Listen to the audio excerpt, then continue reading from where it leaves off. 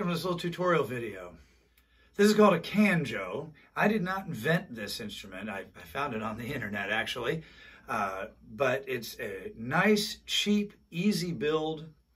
Uh, let's talk a little bit about how this is made. It's a stick with a can screwed to the end of it, and you can see the screws right there. It has a guitar string that goes down inside the can. That string runs up and over a screw here to a guitar tuner. And that's the whole dang thing. That's the canjo. That's all there is to it. You don't need much to build one of these. You're going to need a handsaw. This is a Japanese style handsaw called a Ryoba, but you can use another kind if you've got a different kind. A hammer, a drill, a flathead screwdriver, a double aught, very small Phillips head screwdriver, an awl, three drill bits, quarter inch, eighth inch, and 16th inch, a can.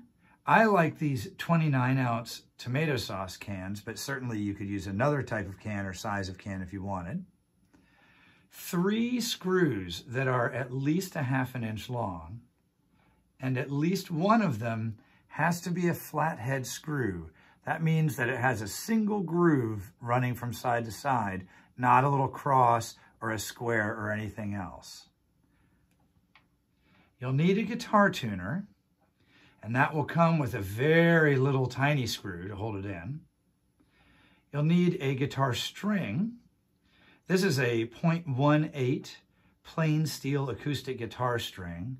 Wound style strings tend not to work so well for this project. And then of course a stick. I've got an old shovel handle, but pretty much anything will do as long as it's at least an inch and an eighth in diameter. You can go to the hardware store if you want and ask for some closet rod, but something like a broom handle is gonna be too skinny. Once you have all of your tools and materials assembled, we'll get started. In the links below, you'll find a link to this how-to page and this page that has links and information about hardware and materials. For example, buying the strings and the guitar tuner. Of course, you can do that online, but you can also always go and support your local music shop who would love to sell you a guitar tuner and they would love to sell you guitar strings. Tuner, almost every guitar shop that I know that does repairs has a coffee can full of tuners that are mismatched that are sitting in the back and they'll probably sell you one for not a lot of money. I build these instruments with a lot of young people and so I'm going to talk and present as if I'm speaking to a young person. If I'm speaking to a not young person, well, I'm sorry, I don't mean to be condescending. This can be a great project to do with young people. It can it's pretty easy. They can do a lot of the work themselves and at the end of it they're going to have something that they built with their own hands and that's worth a million bucks. If you are a young person, there are a couple of steps that you might need a grown-up around to help you with or maybe an older sibling if they're not being a jerk today. Uh, so I'm going to mark and cut this stick at 30 inches. And I'm going to use a handsaw. Now, if you are a grown-up and you have a chop saw or a bandsaw, or if you're a young person that has access to a grown-up with a chop saw or a bandsaw, then you certainly can use that. But if you've just got a handsaw laying around your house, it's pretty easy to just cut the stick right off at 30 inches. There we go, 30 inch dowel. Okay, on the sheet, you'll see that the next step is to rip the tuner notch. For the tuner to go through the stick and for the string to bend and come down to the tuner. I'm going to take my guitar tuner and you'll see that the guitar tuner has a little hole right here and a little waist right there. So we want to position that on our stick and make a line See how that hole is going to stick up above that line. See that? Now I'm going to just project that line back on both sides. And I'm going to project it back about the length of the screw plate of my tuner. So, so now you can see I have my line. I've projected that line back and then I've drawn a line across the top. All right. So now what I'm going to do, and this is a little trickier, but what I'm going to do is I'm going to cut right down that line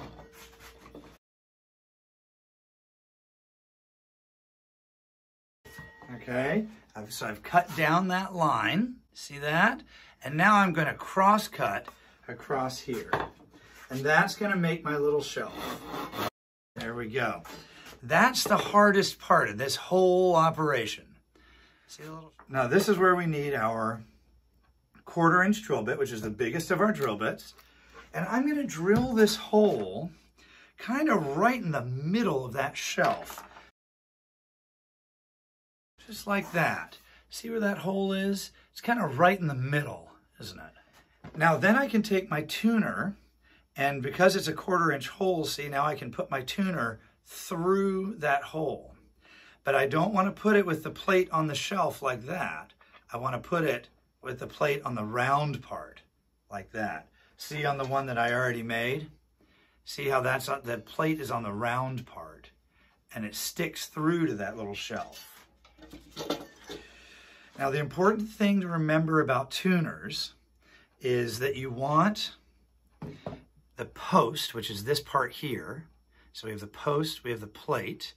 You want the post to be facing, to be on the side of the tuner toward where the can is going to be. Can you see the difference?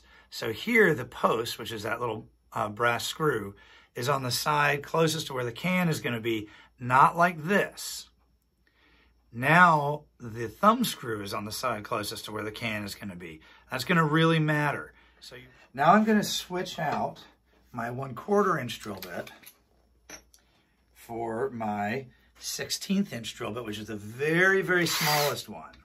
And the reason is I have to put this little tiny screw in to hold that tuner in place. Now this particular tuner has two holes for that screw. You only need the one. But for this project, it's okay. I'm just going to drill that little hole right out.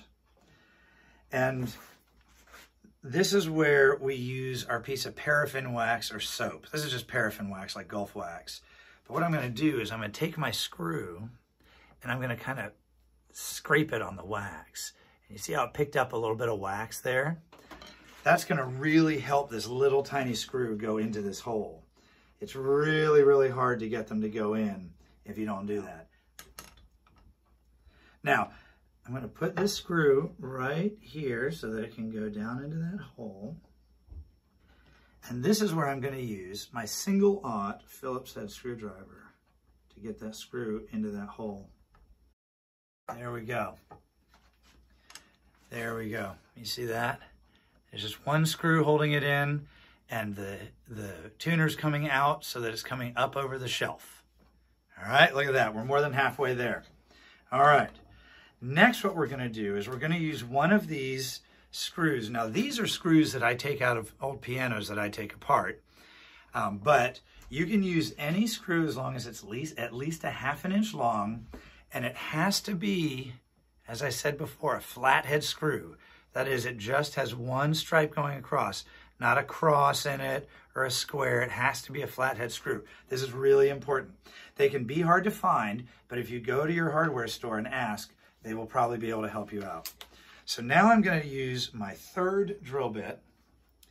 This is my eighth inch drill bit, and I'm going to put that into my drill.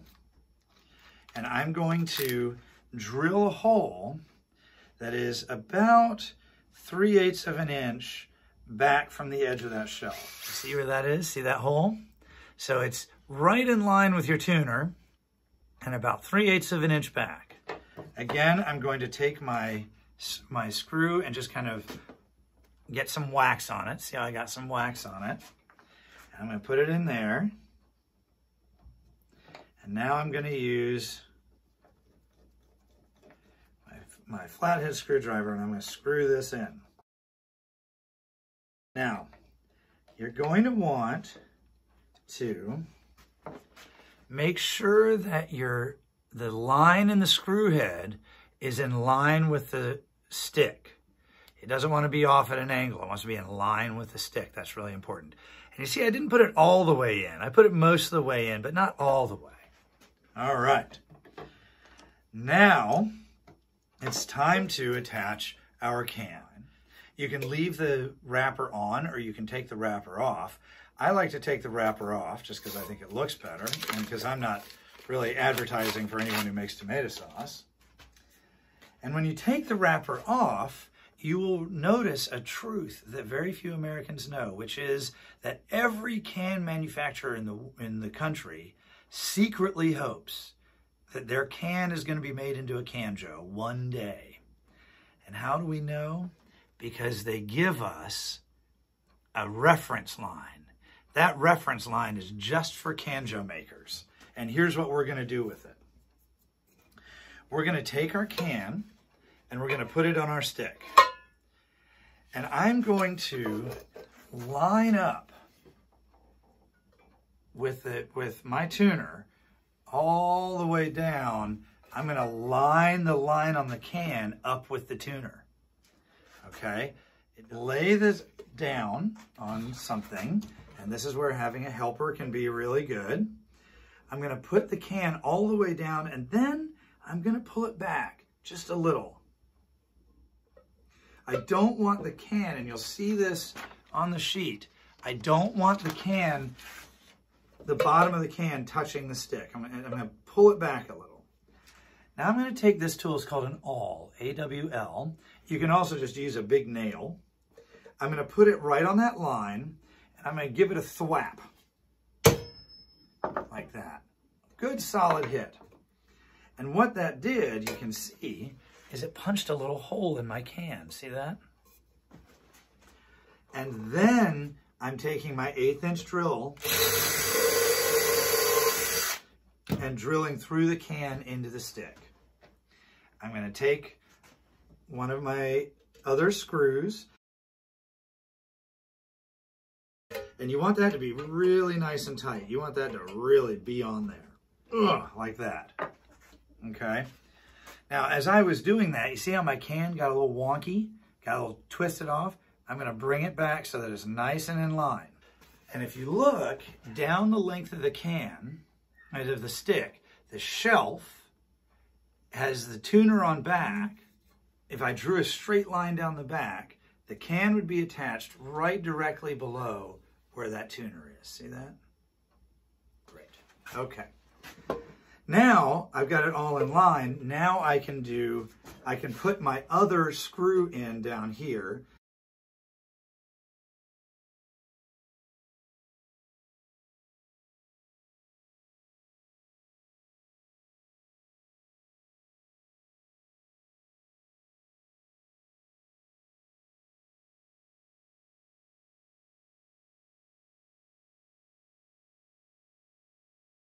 Okay, so now I've got my two screws in there. The last step is to get the string on. Now, I, I like to put a block of wood or something that, uh, that I don't care that much about underneath my can when I do this. Because what we're going to do is take this awl, or if you have a big, you know, 20 penny nail, that'll work too. And I'm going to put it so that it's about 5 sixteenths, a quarter of an inch away from the stick. It wants to be right in line with that tuner. And then I'm going to take my hammer and give it a thwack. But you don't want too big of a hole. Just a little hole. See that? See how I just punched a little hole right there? And let's see if we can see how close it is to the stick. So it's right in line with the tuner, right on the stick. Now I'm going to take my string. Now this is called a ball end guitar string. See how on one end it's open and on the other end there's this little metal piece called the ball. It's not really a ball, but we call it a ball end string. Well, I'm going to take the part that's not the ball end and put it through the hole. And you see how when it gets to the ball end, that ball catches. See that? Then I'm going to bring it down and I'm going to bring that string and put it right into that the slot in that screw. See how that does? That's why you need a slotted head screw, so you can do that. And now, if you've never strung a guitar before, this is a little bit tricky, and actually the person at your local guitar shop might have to help you. So what I'm going to do is I'm going to hold it down with my thumb. See that? I went through the screw, hold it down with my thumb, and then I'm going to take and put this end through the hole in the guitar tuner and pull it tight. See that? It's a little tricky, and if you're not used to doing it, it can be, it, can take you a minute to get used to. And then I'm going to hold it down while I turn the thumb screw. If, if you don't get that the first time, don't get frustrated, okay? It'll take, it might take you a couple of tries, but you'll get there eventually, I promise. Now, as I'm twisting, listen to what happens.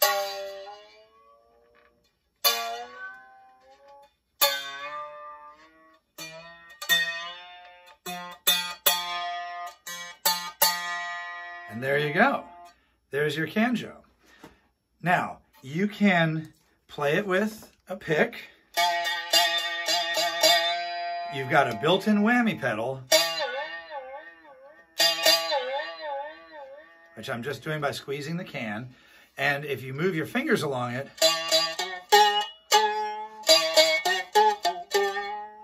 right, you can actually make notes.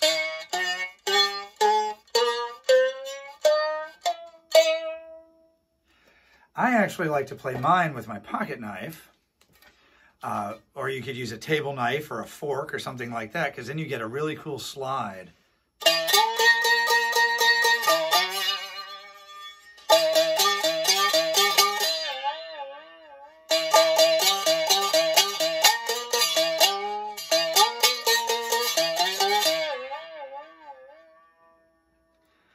Congratulations.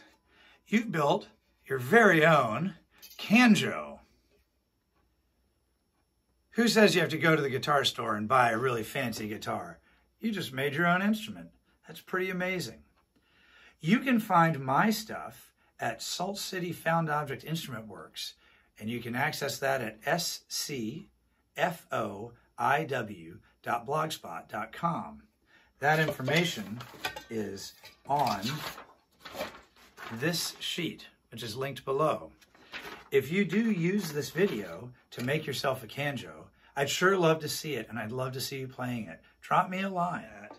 You can take something that you thought was trash, that had no value at all, and you can make a wonderful musical instrument out of it. Trash is in the eye of the beholder. Maybe we can all work to behold things a little differently. I can't wait to see what you do.